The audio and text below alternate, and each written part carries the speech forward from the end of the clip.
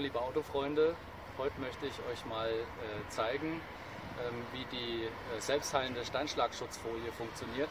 Das haben wir hier an dem teuren Sportwagen. Hier haben wir mal ein Stück abgeklebt und ähm, ich kann euch mal zeigen, was passiert, wenn man das mit der Drahtbürste verkratzt.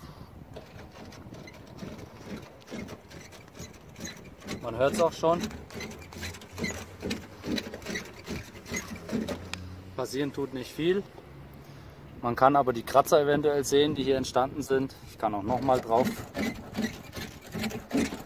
Also das hier ist eine Drahtbürste, wie man sie aus dem Handel kennt. Der ganze Selbstheilungsprozess funktioniert so, dass wir das mit heißem Wasser erwärmen. Hier extra das Video ungeschnitten, um das mal zu demonstrieren. Man sieht auch, wie das Wasser abperlt.